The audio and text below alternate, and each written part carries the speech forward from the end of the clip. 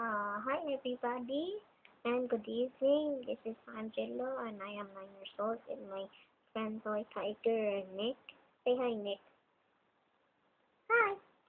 And we're trying to help a baby girl that's 8 years old and is battling leukemia and cancer.